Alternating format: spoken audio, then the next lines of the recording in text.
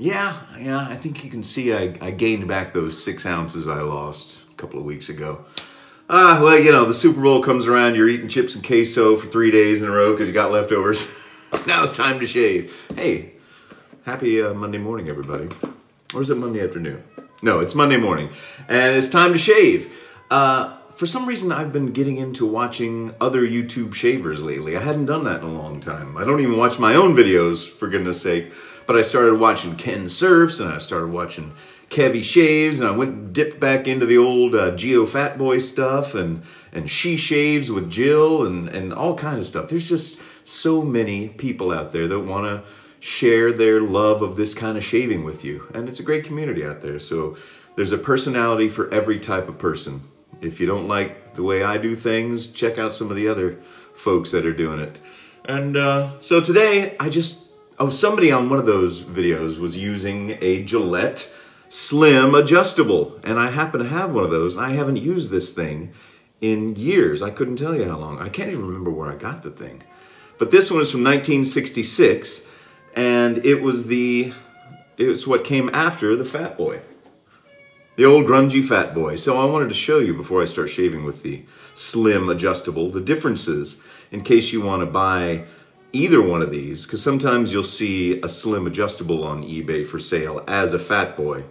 And it's kind of hard to tell unless you're, you know, looking at them side by side. First of all, it's slimmer. It, see the body. I'm to try to hold these so it's easy to tell. So let me, okay, so the, the body of the fat boy is thicker, thus fat boy. The head is a lot, let me angle these the right way. oh gosh. The head of the fat boy is uh, is bigger and thicker and bulkier. Uh, the super, the slim adjustable is longer than the Fat Boy, and uh, the knurling on the handle is different. So this one has, and look at the uh, the adjustable dials. You see how the Fat Boy has vertical knurling on it right here, and this has kind of like a hat, a crosshatch pattern. So that's another good way to tell. So if you're checking out eBay and you want to buy yourself a Fat Boy, don't accidentally spend the money and get uh, a slim adjustable, which comes after the Fat Boy. So this one stopped being made in 1961, and this one was made from 61 to 68. This one is from 1966. And we're going to shave with it today because I can't remember how well it shaves. Now, with my fat, the last Fat Boy shave I did, I had it on uh, 6. Normally I have it on 7. I'm to put this one on 6 too, just because it shaved so well. And I'm to use one of those Bic Chrome Platinums that I received recently because they shave so well. I, you know, I'm starting to think I might prefer the Bics over the Feather Blades. Don't tell Feather. Don't tell them that I might not buy another giant sleeve of their razor blades anytime soon. Not that they care. Believe me, they don't care. All right, so I got the blade in there. And I will not be using Barbasol of any kind during this shave, although I will be using this vintage Barbasol coming soon. And I've got a package from the fine folks at Barbasol arriving in the mail tomorrow, and uh, I don't know what they're gonna send me, but I'm excited. And the shaving cream I'm gonna use was suggested to me by a fellow in the UK who said you should try Ingram because it's got menthol in it. It's got menthol. I'm still on a menthol kick. It's winter time here, it's February, but it's not cold, and I just like menthol any time of the year. So I bought some Ingram off of, I think I got it off Amazon or eBay, I can't remember. It's only like $4 here in, in the States. It's made in the UK. They don't sell it here. I've never seen it before, never heard of it. But on your recommendation, I'm sorry I don't remember your name. I, would have to go back and find the comment where you recommended it. You'll know who you are. I'm going to try it today in the old toothpaste tube. And the brush I'm going to use is the West Coast Shaving Synthetic. The kind with the Jolly Rancher handle. And it actually tastes like Jolly Rancher. It's a blue raspberry flavor. So don't lick your shaving brush, please. Okay, I took a shower, did my hair. Time to put some hot, warm water on my face. I say hot, warm because it's just warming up now. Believe me, I learned my lesson after that very first shaving video I made, or one of the first where I left the water running, I still get people yelling at me in the comments, turn off the bloody water when you're shaving your face. All right. They all sound like that to me. I don't know. Why. They're soccer hooligans. Okay. Plus, it's one of the only accents I can do. All right, so let's take the Ingram. And you know I love to face shave. Uh, I don't like to use a bowl because that's one less thing I have to clean. And the great thing about the, the tube of Ingram, upside down, let me hold it right, there we go, is that it looks like a toothpaste tube. So you can kind of apply it to your brush as if you were putting some toothpaste on your toothbrush. And that should be about enough. Maybe I'll put a teeny bit more. I've used this once so far, but it's been a while. Uh, I got it a couple of weeks ago. And uh, it smells like, kind of like a barbershop medicinal um, shaving cream scent, like a clean sort of, with some menthol in it. So then what I do is I kind of smear around the, uh, the shaving cream into the bristles. It doesn't look like much like that, but let's, let's see. Now I'm feeling you need to put more water on my face. Let's see if that was enough. Oh yeah, that was enough. Yeah, so the scent, hmm, what does it say it is? It just says, for a closer, for a smoother and closer shave, quality lather shave Ingram contains menthol. Doesn't say what scent it is. I guess it's Ingram scent. Seems to be doing well. I got a lot of water coming down my arm into the sink, but that's why you shave over a sink, folks. But it's lathering well. It didn't look like that was that much once I uh, rubbed it in, did it? But it's doing very well. Like I said, it's got kind of a uh, medicinal smell to it. Kind of like, um, it's got the menthol, uh, almost, what would I say? It's hard to describe, almost, um, just sort of an antis antiseptic, kind of clean. Uh, it doesn't smell like anything that I can place. terrible, terrible. All right, you just have to buy some and try it yourself. It seems to be, you know, lathering up very well. All right, here comes the Gillette 1966 Slim Adjustable. Ooh.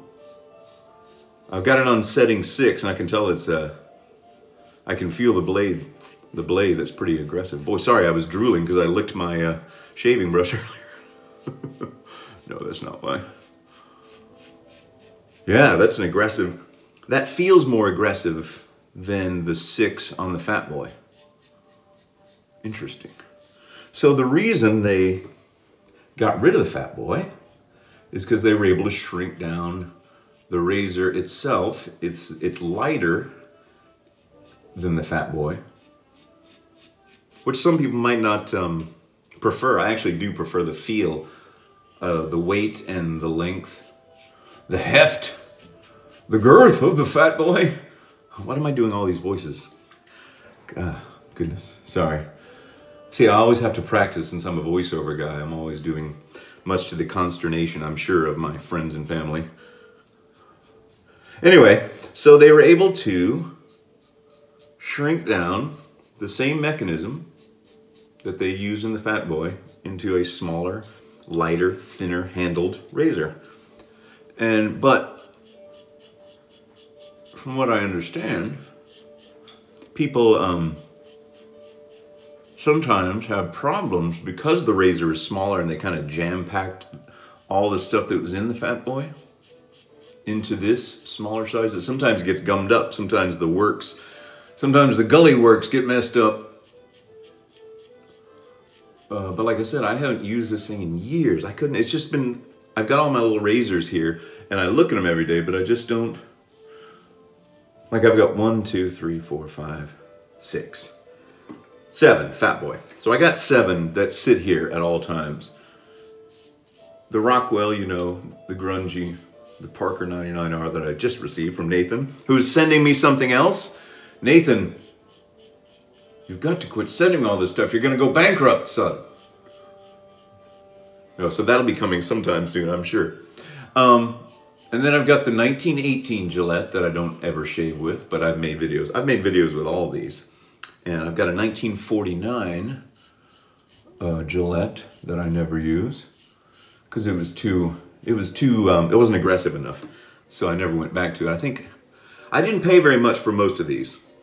And then I've got the fancy executive fat boy, the gold one, you know?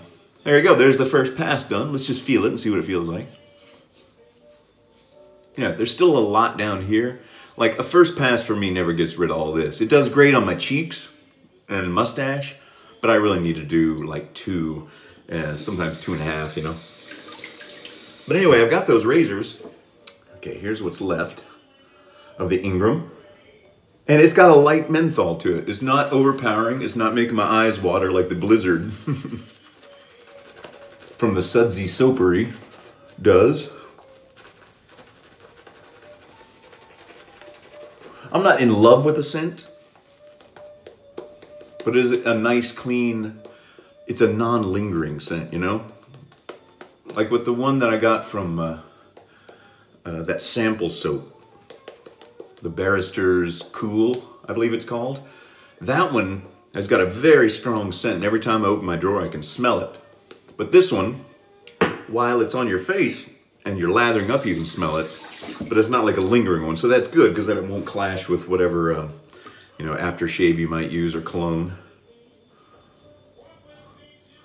I had, after my last video, I had a couple people ask me about Drakkar Noir. Somebody over in, I believe they were in Europe, but I'm not sure where they were. They were asking me if $60 for a bottle of it was, was a good price. And that seems kind of high, but then I haven't purchased it since 19, or since 2004, so uh, I don't know. And then a 17 year old commenter said he wears Drakkar Noir. So I was like, that's cool. Is it coming around? Is everything old new again? I know that, pardon me, you know, when I'm puffing my cheek, I have to hold my tongue for a minute. Um, the 90s are big right now, right? I never knew Okay, so my wife and I this past Saturday went to something called the Parent Prom. Our elementary school has something for the parents called the Parent Prom. Did I talk about that in the last video? Anyway, we went to it and they played a range of music from the various decades from the 80s, 70s, 80s, 90s, and not very much from today. Because in our elementary school, it's a mixed bag of, of ages. And uh, my wife and I are certainly two of the oldest parents at that school. So I was talking with one of the other parents and I was like, when I was a kid, the throwback music, like the oldies station, was the 1950s and the 1960s. And never did I imagine that oldies station, I mean, they still have ones with music from the 50s, sort of. I mean, they're not as prevalent. But now it's much more so that it's the 1980s. So the 80s are my oldies. It's a strange revelation as you age, folks. I know I got a lot of young viewers, and that's cool. And I guess there are just sometimes, I mean, you can tell someone, you can tell your, your kids, you know, you try to prepare them for life, and you try to, you know, impart what little wisdom you may have learned over the years. But I think there are just some things you can't learn until you do it yourself or until you've got a certain number of years in you. And then you realize, oh, okay, I see. And that's such, it's so frustrating. Because you just don't want to hear it, you know? You don't want to listen to the wisdom of your elders, at least not in our modern culture. Maybe it was, I think maybe in, in some cultures, Asian cultures or in Native American cultures, they, they uh, honor their elders and what they know much more than we do in our society. Maybe that's just me feeling bad for myself. I just want someone to listen to me. Is that why I make YouTube videos? I'm gonna have to go think about this. I just want someone to listen to me. No, I actually just enjoy sharing this kind of stuff. I don't know why. I've always been sort of a performer. You know, I used to do plays. I used to do a ton of plays. I'm a voice actor. I, you know, I've been in several bands. I play weekly singing. I have no problem getting on stage in front of people. So it's just uh, like an extension of that. I just enjoy, you know, performing, I guess. This is kind of a weird performance. This is performance art. Yeah, my shaving channel is all about performance art now. Sorry, there I go with another dang voice. Okay, what am I doing here? Third pass? Okay, let's go. hey, here's what we can do. Check this out. If you have an adjustable razor, and I just read this as I was kind of researching uh, when this thing came out in 1966, this cost about $15. So that's not too bad. Whereas this one, now back then that was like a dollar fifty, and in today's money, it's fifteen dollars. This one was five dollars. This is the executive, so that's like forty three dollars in two thousand nineteen dollars. So you know that's not that bad. You can buy you know some one of the fancier razors. Anyway, what was I saying? So if you have an adjustable and you're on your third pass, you don't want it to necessarily be as much expo exposed blade. You just uh, loosen the open of the doors and dial it back down. So let's dial it down to like a three. See that? And then you can do that third pass and you won't, you know, get razor burn because you've already got the, the majority of uh, all the whiskers down. You just kind of want to do a little touch up. That's the beauty of uh, an adjustable razor. That's what I'm gonna do right now. I don't normally do that though. Like when I use my uh, my Fat Boy, I always just keep it at the same. But I'm gonna give it a try because I was reading vintage uh, vintage uh, brochures that came with the, these old Gillette razors back in the '60s, and it was like, you know, for for sensitive skin or for problem areas, sensitive areas like maybe around your neck, then dial it down. I was like, of course, genius. It's cool what you can learn online, isn't it? This is a good razor. I tell you what, man. Somebody was wanting my opinion of the whole brouhaha over this modern Gillette ad and everything. And I say the biggest problem that Gillette has was that they stopped making these razors. That was the dumbest thing they ever did. I know why they did it. So they could sell those incredibly overpriced cartridges in our disposable economy. But look at this thing. Somebody paid $1.49 for this in 1966, and here I am using it 53 years later. It still works perfectly and shaves better than most modern razors. I like them apples. Actually, you know what? I think next time I'll, because I've got sort of, like, I've done this, I've shaved so much with safety razors now that I feel like I've got the, uh, got it down. You know, I feel like I got it down, so I don't need to dial down. But that was an interesting little thing. And that's something that uh, if you're new to shaving this way, you can kind of start, start small. And these things are all over eBay. And you don't have to buy a new one or a fancy one or a clean one. Buy one, go look in your antique stores. You can find them, they're out there. They just, they made millions of them because men were shaving with them for, uh, you know, at least this model for seven years. Can you imagine? How many they sold back then. So they are out there, but don't pay, pay some crazy price for it. You don't need to do that. I would not recommend that. Okay, all done. All done. All right, let me. Yeah, so that Ingram is not, it's mentholated, but not crazy mentholated. The scent is medicinal but light. Almost, I don't want to say wintergreen, but something along those lines. An antiseptic clean, sort oh, I got a little bit, I want to take care of that right there. You can kind of even hear it. Still, even after three passes, I got these these areas that just the hair grows in a certain way, and if you don't hit it that way, it's still there. I dial it back up to uh, a six. But yeah, good razor. Plus, just, you know, I, I love vintage things. I'm a very retro guy. I appreciate things of the past. And uh, especially when things were built so well. My goodness. All right, one more splash of cold water. And then let's dry off and end this video. Now, I know you guys have been uh, waiting for that straight razor shave that I've been hinting at. And I've been shaving with it. I've been practicing honing it on a honing stone. I've been stropping it with a strop. I've been doing all that stuff. So I've done, I've shaved with it probably five, six, seven times, which probably isn't that much in the grand scheme of things, but I'm gonna try using it. I'm gonna make a video on Friday with the straight razor. So look out for that coming this Friday. All right, so aftershave, we're going back to the Stuff Shaving Company. So the stuffshaveco.com, Bay Rum Aftershave. Close your eyes. Ah, ooh. Mmm, that's nice. Bay rum, if you haven't smelled it, it smells like you're at a, at a tiki bar, an outdoor tiki bar at the beach. Because it smells like rum. smells like rum and tropical spices. It's good stuff. And that didn't burn too bad. And I didn't get any nicks this time. Oh, good job. Pat myself on the cheek for that. Hey, so that's it. Friday coming up. I mean, I've got a lot of stuff in the pipe now coming up. I got all this this vintage Barbasol I got to shave with. I got a vintage Gillette down there from the 70s that uh, I haven't shown you yet. Uh, I've been inspired by these other YouTube wet shavers. Check them out. Just look for, you know, wet shaving on YouTube and you'll find them. There's some good ones out there. There's some really cool personalities and some people that know more than I do and have a lot more stuff than I do. So it's interesting to see people that have that. But this Friday, straight razor shave. I'm a little nervous. Not that nervous. A little nervous. A little, okay. Good. It's good to be nervous, right? Then you know you're prepared. All right. Thanks for joining me, everybody. I'll see you next time. See you on Friday.